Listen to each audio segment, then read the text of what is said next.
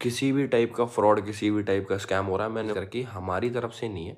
अगर कोई नुकसान कर रहा भाई, आप खुद जिम्मेवार हो, मैं जिम्मेवार नहीं हूँ, मैं तो हेलो दोस्तों, कैसे हो सब लोग? अभी की इस वीडियो में बात करने वाले एलविश यादव के बारे में। दोस्तों, यदि आप लोग एलविश यादव को फॉलो करते होंगे तो आपको पता हो कि एलविश यादव आजकल स्टॉक मार्केट और शेयर मार्केट में काफ़ी ज़्यादा इन्वेस्टमेंट कर रहे हैं। एंड लोगों को इसके बारे में बताने के लिए उन्होंने एक टेलीग्राम चैनल भी खोल रखा है जिसपे वह स्टॉक से रिलेटेड अपडेट देते रहते हैं। लेकिन दोस्तों, उनके नाम पे काफ़ी सारे चैनल और भी खुल चुके हैं, जिसमें स्टॉक से रिलेटेड अपडेट तो दी जाती है, लेकिन उसके बदले लोगों से पैसे मांगे जाते हैं। एंड दोस्तों, उन्हीं सारे चैनल को फॉलो करके काफ़ी लोगों ने गलत स्टॉक्स में इन्वेस्ट कर दिए, जिसके कारण उनका लॉस भी हुआ है। तो जिसके बारे में एलविश यादव ने अपने ब्लॉग में बात करते हुए बोला कि उनका एक ही ओरिजिनल चैनल है, जिसका लिंक मैं भी अपने डिस्क्रिप्शन में दे दूँगा। तो आप लोग जाकर के उस पर देख सकते हो। लेकिन उनके चैनल के नाम पर काफ़ी सारे लोगों ने ठगी कर रखी है। इसके रिगार्डिंग बात करते हुए देखिए, एलविश यादव ने एग्जैक्टली क्या कुछ बोला।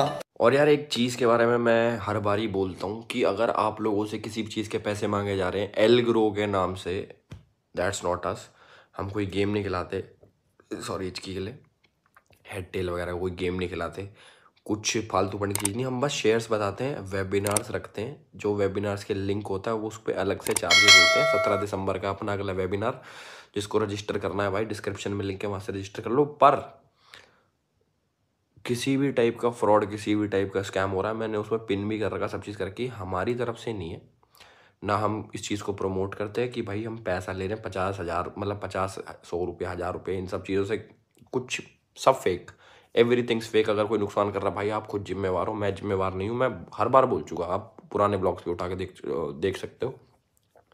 बाकी स्टॉक मार्केट के बारे में, जिसको नॉलेज लेनी है, जिसको शेयर्स देखने की, कौन से शेयर्स हम परचेज कर रहे हैं, या फिर जो भी हम चीज़ें कर रहे हैं शेयर मार्केट के अंदर, हमारे एल ग्रो को सब्सक्राइब कर लो। डिस्क्रिप्शन में लिंक है, उसी पे ही विश्वास करना, उसमें जो आता है बफली दोस्तों, मैं तो आपको बस एक ही सजेशन देना चाहूँगा कि यदि आप लोग के पास पैसे हैं एंड आप लोग स्टॉक मार्केट में इन्वेस्ट करना चाहते हो तो आप लोग पहले इसके बारे में कुछ जान लो, क्योंकि दोस्तों, दूसरे के बात पे कब तक आप लोग स्टॉक मार्केट में इन्वेस्ट करते रहोगे?